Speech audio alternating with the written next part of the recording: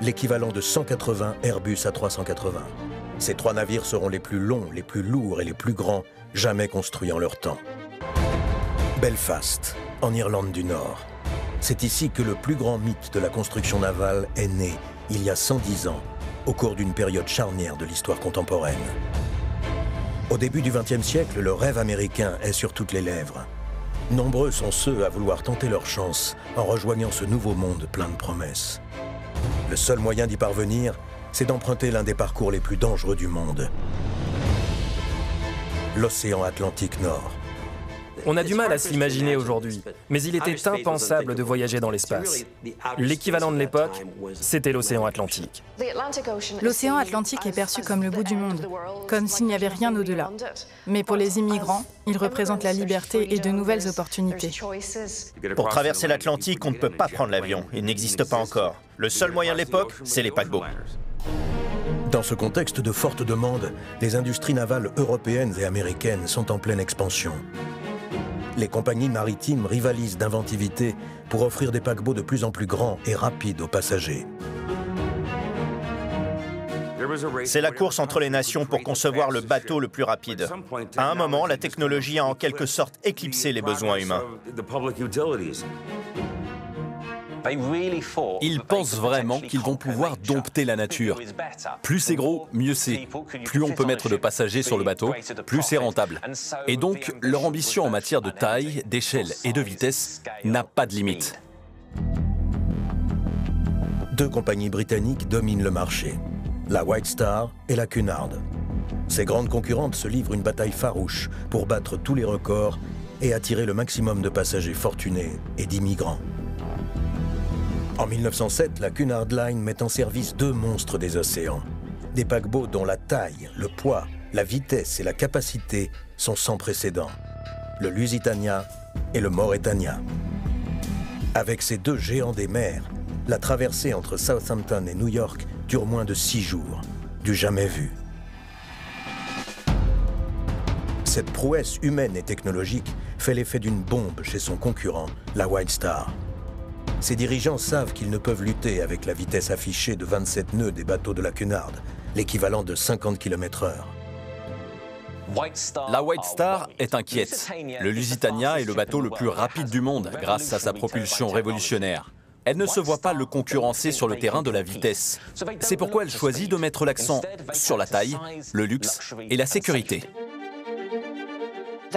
Ils vont vous offrir du luxe, de la stabilité, des bateaux somptueux. Ils veulent faire de ces paquebots les plus grands du monde pour que vous vous sentiez vraiment spécial lorsque vous êtes à bord. Voilà pourquoi ils mettent au point les paquebots de la classe olympique. La classe olympique, un projet vertigineux et inédit. Il comprend la construction de trois paquebots plus longs de 30 mètres que le Lusitania et le Mauretania. 270 mètres de long sur 28 mètres de large pour une hauteur de 53 mètres de la quille au sommet des cheminées. Le tout avec une capacité totale de 3500 passagers et membres d'équipage pour un poids de plus de 52 000 tonnes, l'équivalent de 180 Airbus A380. Ces trois navires seront les plus longs, les plus lourds et les plus grands jamais construits en leur temps. Ils planifient des bateaux gigantesques comme on n'en a encore jamais vu. Ce sont vraiment des paquebots exceptionnels. C'est un projet absolument monstrueux à tout point de vue.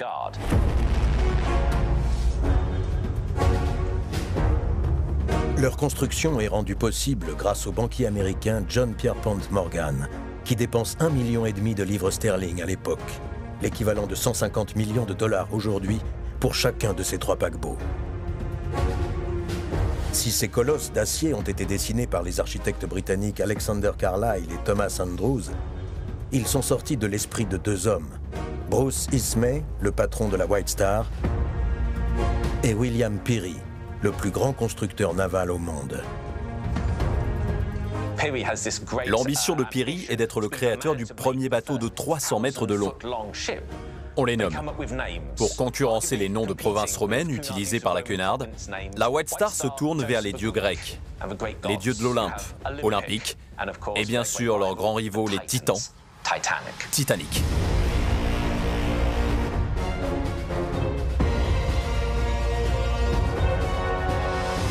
Les deux premiers navires de la classe olympique seront construits en même temps, alors que le chantier du troisième bateau commencera une fois que le premier sera mis en service. Avec en ligne de mire un objectif très clair, avoir toujours des bateaux en mer assurant les traversées transatlantiques chaque semaine. C'est l'idéal. Les trajets doivent s'effectuer dans les deux sens en même temps pour garantir aux passagers un service de transport régulier. Une fois par semaine, vous pourrez embarquer sur un de ces paquebots. Il sera à New York six jours plus tard, l'idée étant d'avoir une rotation continue. La construction de ces paquebots gigantesques est confiée à des experts de premier plan, les chantiers Harland Wolff de Belfast, en Irlande du Nord. Depuis 50 ans, ces pros de la construction navale développent des trésors d'imagination pour repousser les limites techniques et rendre possible les rêves les plus fous de construire des palaces flottants de plus en plus démesurés. Si ce n'est pas vous qui travaillez chez Harland Wolff, alors c'est un de vos proches. Tout le monde connaît quelqu'un qui travaille chez Harland Wolff. C'est une ville à part entière.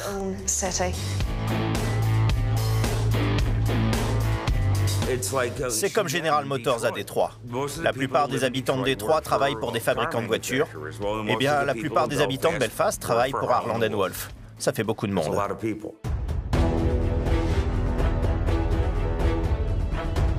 Pour commencer cette construction titanesque, les experts d'Harland Wolff doivent complètement repenser leur chantier. Ils réaménagent leurs infrastructures pour être capables de construire ces mastodontes.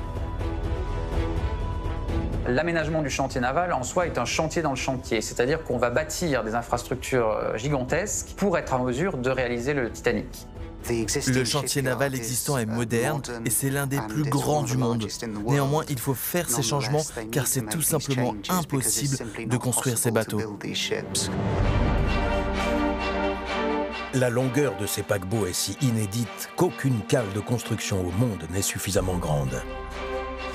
Les ingénieurs d'Arland Wolff sont contraints de détruire trois cales existantes pour en bâtir deux géantes.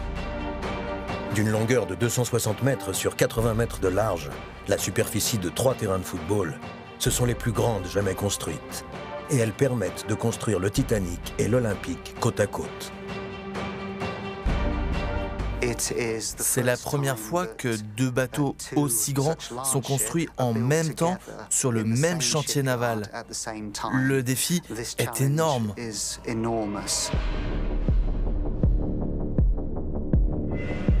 Cette opération pharaonique va déterminer à elle seule la suite du chantier et le respect du planning. La mise en service de l'Olympique et du Titanic est fixée à l'été 1911 et au printemps 1912. Le moindre manquement peut avoir des conséquences catastrophiques pour la suite. À partir du moment où on annonce la construction d'un navire qui va être mis en service euh, quelques années après, euh, il va falloir euh, que le chantier naval tienne ce délai-là. La construction de ces palaces flottants se déroule en trois grandes phases. Tout d'abord, la construction de sa coque, la partie la plus longue. Son lancement, une étape complexe. Enfin, l'armement et l'aménagement intérieur du navire. Les technologies les plus pointues de l'époque sont mises au service de ces paquebots. La construction des deux paquebots nécessite d'inventer un échafaudage révolutionnaire capable de soulever des pièces de métal au-dessus de la coque de 30 mètres de hauteur. Un challenge que les ingénieurs ont confié à l'architecte William Harrol, le Gustave Eiffel britannique. À projet démesuré, outils démesurés. L'architecte a imaginé la plus grande structure en acier au monde. William Harrell se voit confier cette mission. En quelques années seulement, il livre une structure qui restera longtemps inégalée, puisqu'elle sera utilisée jusqu'à la fin des années 60.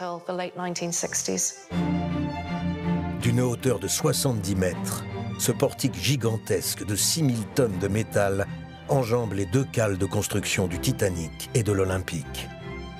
Il est composé d'une grue mobile centrale et de 10 grues électriques sur roulement pouvant soulever 5 tonnes chacune. Il y a des grues pour soulever les énormes plaques d'acier et les positionner au bon endroit. Il y a des ascenseurs pour emmener les ouvriers au sommet. Il y a toutes sortes de moyens mécaniques pour transporter les gens et le matériel d'un endroit à l'autre. Donc c'est vraiment une petite ville en soi, ce Corticarol, finalement, qui va, qui va rassembler des centaines d'ouvriers tous les jours sur le chantier naval.